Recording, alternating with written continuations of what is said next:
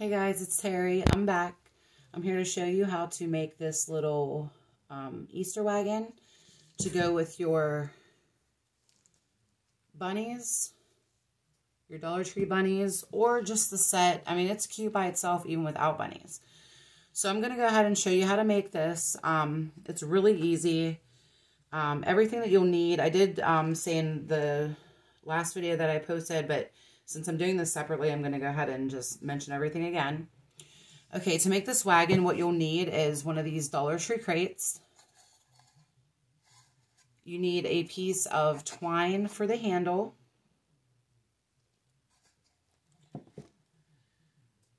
You also need some of this. I got this floral moss at Dollar Tree. Um, I have it in this bag because it is extremely messy. So if you um, use this, just make sure you do it somewhere that you can clean it up fairly easily because it, it does get messy. Uh, it was coming out of the bag before I even opened the bag. You're also going to need um, a pack of these eggs here from Dollar Tree. They're little um, egg ornaments that you can put on a tree. Um, you need a pack of these. You also need some paint and paint brushes. I have a couple of the colors that I'm going to be using here. These ones I'm going to use for the eggs. Um, this brown here I'm going to use for the wagon. And this black I'm going to use for the wagon wheels, which are some of the wooden eggs. Um, you'll need a pack of these wooden eggs from Dollar Tree. And also a pack of the wooden carrots. Now, the pack that I got when I made this wagon, I just went ahead and painted all of them up. So I do have them already painted. Um, the Easter eggs I'll just go ahead and paint on camera. But these I do have um, painted up already. But that is how they look when you get them in the pack. I only painted one side because that's all that's going to be showing. I use them to put, put on the back to kind of cover the handle there. You don't have to do that. You don't have to add any of the eggs if you don't want to. Um, I'm sure you could find something else even to use for the wheels if you wanted to. Um, I also put a carrot there to, and it kind of holds the twine in there. It's another reason why I put the carrot on the front. Okay, so we'll just go ahead and set this aside. I think that's all um, that you need to make this. I don't think I'm forgetting anything. I guess if we come to it, we'll get it then. Um, Okay, so what we're going to do first is we're going to get some of the eggs painted up so they can dry. And get my cup here. Okay, so I'm going to use um, some yellow, some pink, and some, it's like a, it's called Caribbean from Apple, Apple Barrel. I can never say that word right on the first try. Um, and then the yellow I'm using is the King's Gold from Apple Barrel. This one is Pink Parfait. And the brown I'm using is Chocolate Bar. The black I'm using is just some chalkboard paint that I got. I believe I got this at Dollar Tree. Um, the apple barrel paint I actually got at Walmart. Okay, so let me grab a couple eggs here. I already have one pack open. So we're going to paint three eggs.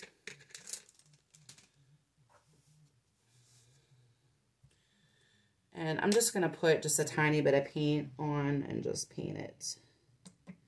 And this does dry fairly quick, especially if you put like a light coat on, which I don't feel like you need any more than like one coat on these. Maybe the pink, the pink's a little light, but I was fine with just the one coat.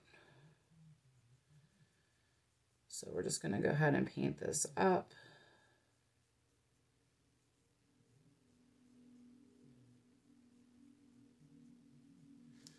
and we'll let that dry.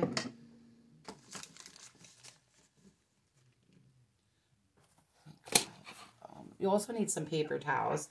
And, I mean, not only for if you, you know, get paint on your hands or whatever, like I just did, but we're also going to use um, the paper towels to paint the crate. Because we're basically going to stain the crate with a little bit of brown paint and water.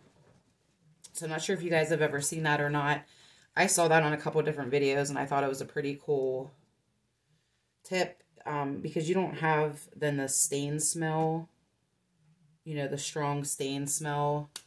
Um, it's just paint and water, so. Okay, I'm going to get this yellow egg painted up here.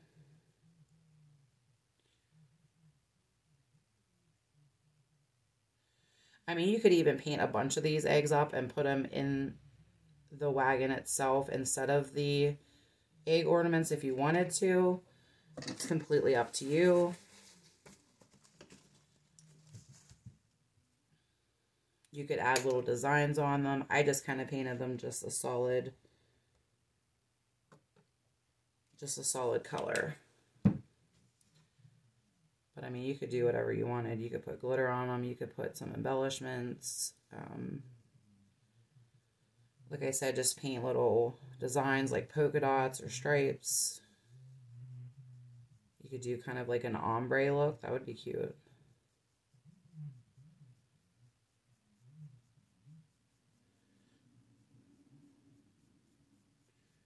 Okay, so that's painted. Um, we'll go ahead and let that dry.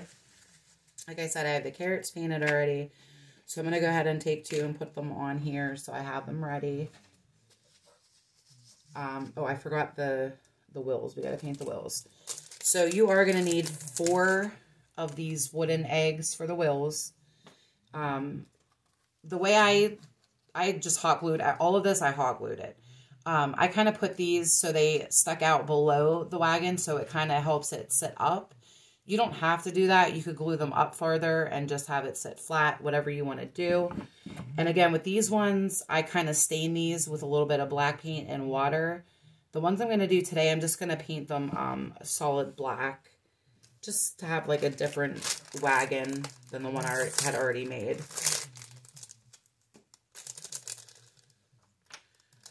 So we're going to need four of those and some of the black paint.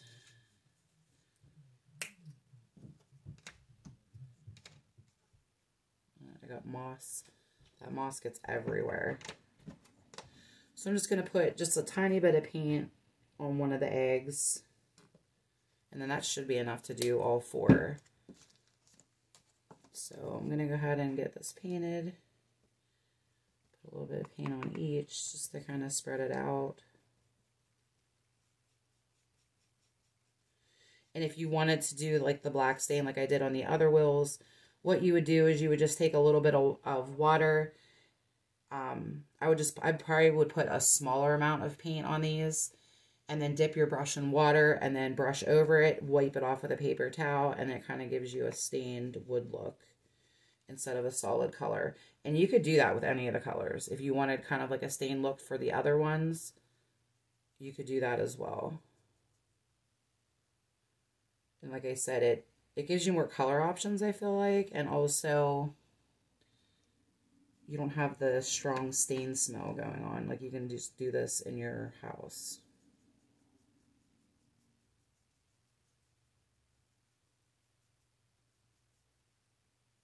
I mean, I don't know if you're supposed to have like a lot of ventilation for this type of paint. I'm not sure, but I mean, I don't really have, I don't smell anything.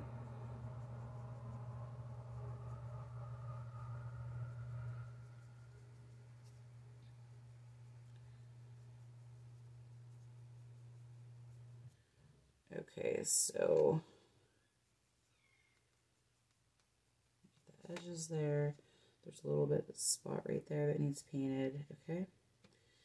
And that's all of our parts pretty much painted now. Okay, so the next thing we're going to work on is the wagon, the crate itself. And this can get a little bit messy. I usually do this over like the sink, um, but I just brought in just an old towel to put underneath. Just because of the water. It's, you know, it's like kind of watery.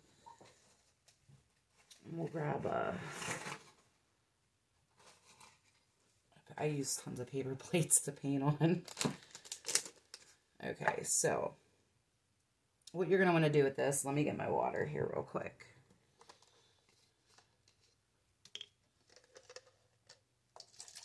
Just put some uh, water in a cup. I got my dirty brushes in there already. Or what you can do is you could put a little bit of, she probably won't use this plate because there is glitter on it. Here, I got a brown one. I have like paper plates for every color of paint. I just keep reusing them. Okay, so put a little bit of paint on there. Maybe a little more than that. And then you're just going to take, get your brush wet.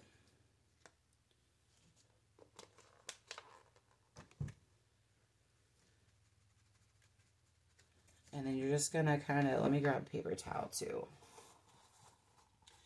And you can use paper towel or like an old an old towel or something to wipe it off. It doesn't matter. I've used both. Both work good. The paper towels that you can just throw away. I mean, I mean, you could just wash the old towel if you wanted to. But what I do is I go ahead and I just start painting this on, this watery paint mixture. And you can already kind of see that it kind of looks like a stain And if you think that you got it too dark or something, you can always lighten it up by putting a little extra water and going over it. And also when you um, take the paper towel over it, it will take the excess water off. And this does dry fairly quickly. That's one reason why I figured I'd just paint while on the video because doing it this way, it does dry quick. So I can just, you can glue everything on pretty much right away. And down here where the glue is at, I don't, the paint doesn't really um, cover that, which you can just make that the back side or, I mean, if you wanted to, you could take a little piece of ribbon and go around the bottom or the top. That would be cute. But yeah, like, see, it doesn't really cover it, the glue down there. So it's fine. It's not going to be perfect. Um, you're going to want to do this on all four sides and then also the inside. Um, the inside, you don't have to go all the way down because it is going to be covered with moss and we're going to stick a piece of foam in here. So you're not going to see, but you, you are going to want to get a little bit of the inside at least because just in case I mean, a little bit is going to probably show, or if you look at it, you're going to be able to see it. So, and the inside, I don't really wipe with a paper towel because it is the inside. And like I said, you don't really see a whole lot of it. So I just want the wood color in there though, so it does match.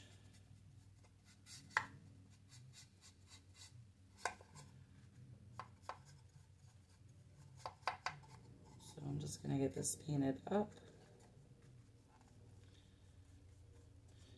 And I like to get inside the handles because you still can see the handles a little bit even after the carrots and everything are on it.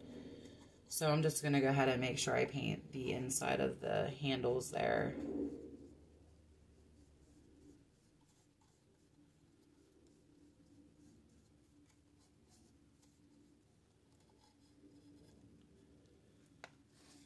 Wipe it off with a paper towel. And I mean, as you can see, it does look, it kind of brings the wood out if you do this. I might need to add a little bit more brown though. It's a little too watery, I think. And I mean, if you want a lighter brown, you can always um, like get a lighter brown paint or water this down more.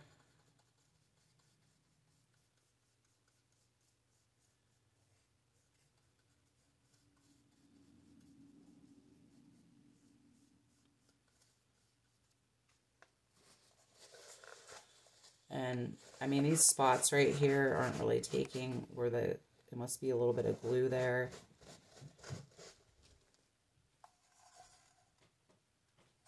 But I mean, it still looks cute.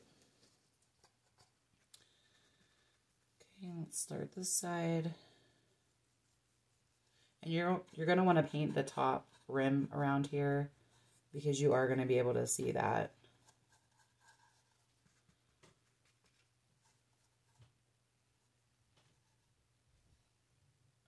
There's like a little piece of wood that came off.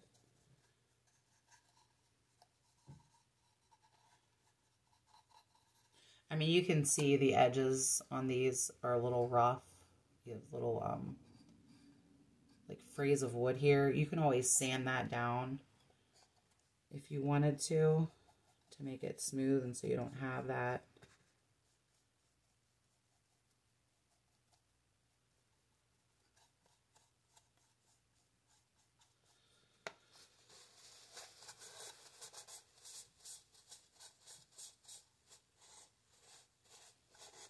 That's what that, that side looks like. And then we're going to get the other side painted. You sometimes have to go um, in between these, these little indents here. Um, these aren't the crates that have the actual gap in it, but if you found those and wanted to use those, those would be cute as well. My Dollar Tree has not had those in a little bit. They pretty much just have these right now. And I did buy a couple of these um, to make a kissing booth. Um, so I had some left over that I end up not using. And so I'm probably going to need a little bit more water.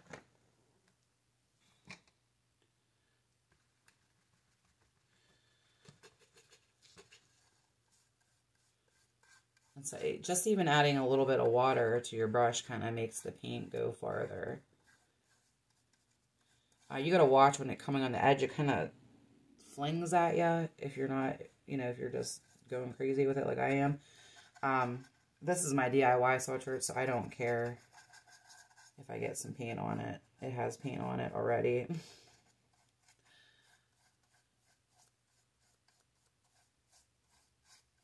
I mean, that's turning out really nice. Go ahead and wipe it. If you feel like you want it a little darker or, um, you know, feel like there's not enough paint on there, you can always go over it again. But that's how it's turning out.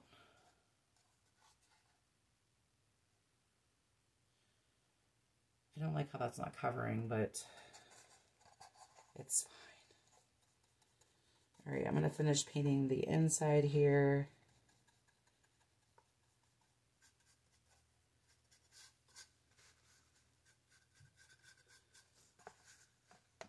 a little bit more brown. And then we're about done with this part of it.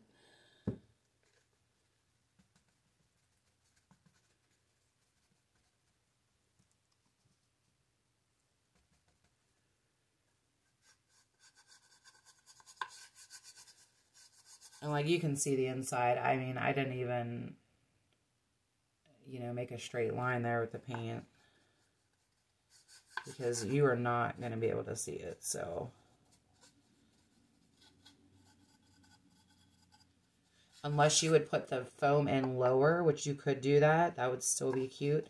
I kind of like the foam up higher so that way the eggs kind of sit above the wagon so you can actually see them.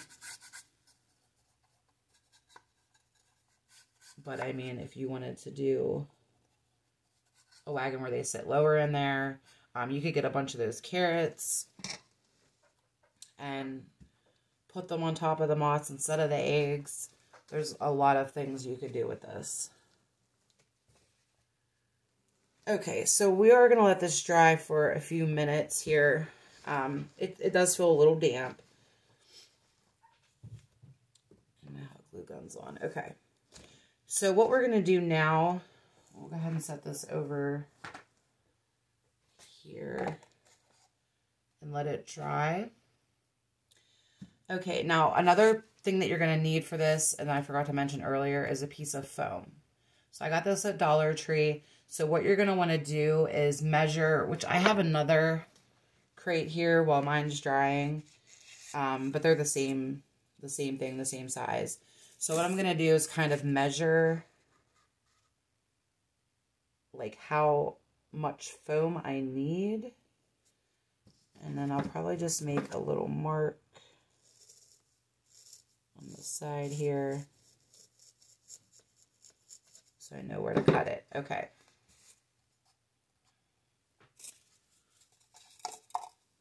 This is the foam I had left over from the last one. So that's how much, you don't need the whole thing, but that you'll have a little bit left over. You can save it for something else. Okay, so I made my mark right here. Honestly, I don't know what you guys use to cut the foam, but I, a bread knife works really good. Um, I mean, just be careful with it. In my, in, it, at least in my opinion, it makes less of a mess than, I don't know, scissors or I don't, I don't even know what else. And it cuts down. I mean, it works pretty good. So then I have the little block that I don't need. All right, now let's just make sure that that's the right and it fits in there. So you can take the plastic off or you can leave it on. Um, I believe I just left it on on my other one. It kind of keeps the foam intact a little bit more so you don't have foam going everywhere. But once you have it covered, the foam's not going to go anywhere anyway. Um, so what you're going to want to do is you're going to want to hot glue this in there. So I'm going to put some hot glue inside the wagon.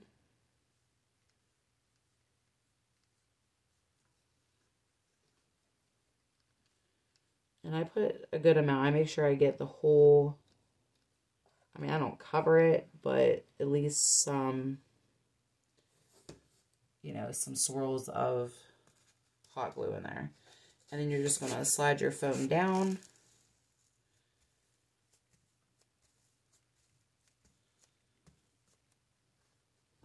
And that's how your wagon's going to look. You can see the foam through the wagon. I mean, you could put something inside there, maybe a piece of paper or foam or something in there to cover that if you don't want to see the foam on there, there. But, I mean, I'm just going to glue a carrot there. I'm not too worried about it. You could glue two carrots there if you wanted, which maybe we'll do that today. We'll glue two carrots and see how that looks. Kind of like that. So we'll just go ahead and do that right now then. So I'm going to put hot glue on the carrot. Okay, this is going to be the front.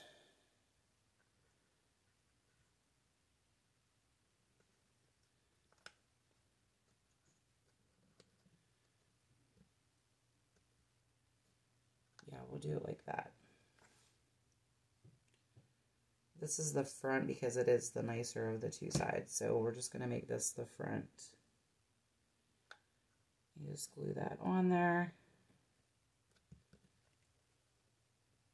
So that looks cute. Okay, now on the other side, we're going to put our handle on this side. So I don't know where, oh, here it is. So what we'll do is we'll kind of lay our twine kind of like this where we want it. And then when we hot glue the carrots on there, it'll hot glue the twine with it. This is a little bit tricky um, because the twine, I mean, you could glue this down first.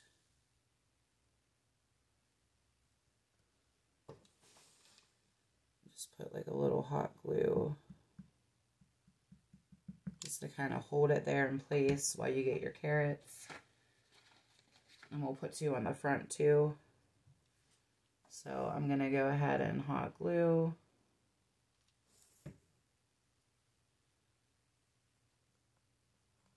And then I'm going to slide this handle over behind the carrot.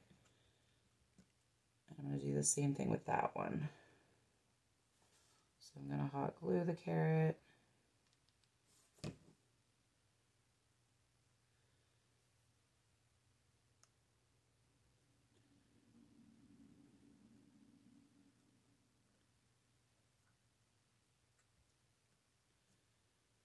And it kind of spreads the handle out a little bit too. So that's how the handle part looks. So then you want to determine which side, um, I mean, you could put eggs on both sides if you want to, or you can just determine which side you like better, which would be the side that's going to face out, you know, for people to see. So I'm probably going to go, I kind of like this side. It's a little lighter, but you can really see the wood there. So I think I'm going to use this side to put the eggs on. Um, but what you want to do first probably is go ahead and glue the wheels on because those are definitely going to have to go in a certain spot. So what I did is I kind of just lined it up with the first line here to try to get it even on both sides. Um, line here and then take it to the edge here. So we'll just go ahead and put some hot glue right here in the corner. I need more glue sticks. Okay.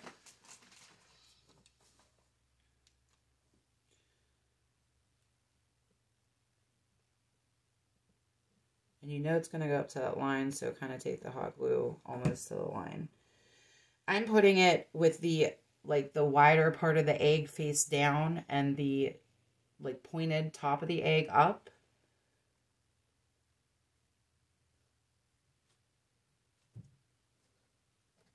That's, oh, that's fine. You could put the hot glue on the egg or the wagon. It really doesn't matter.